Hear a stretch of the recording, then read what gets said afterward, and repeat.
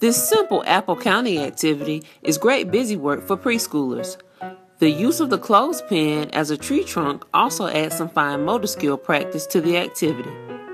You will need green cardstock, red dot stickers, clothespins, and a permanent marker. Draw the treetops on the green cardstock and cut them out.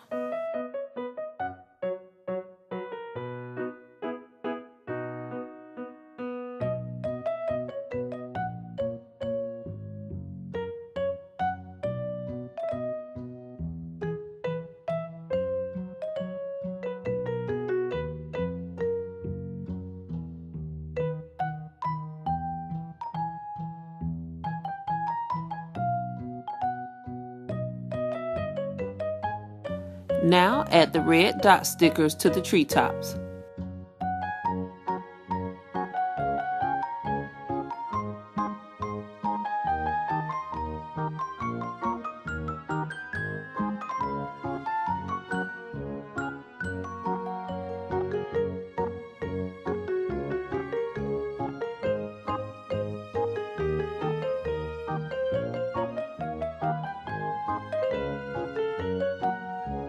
Write the coordinating numbers on the end of the clothespins.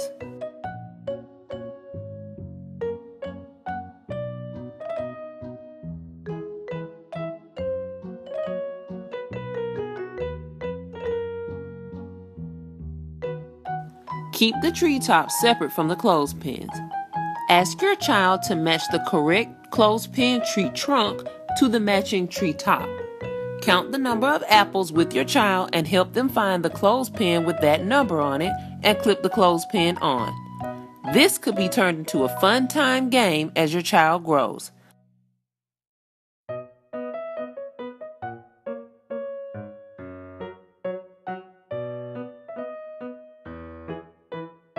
Thanks for watching and make sure to like and subscribe.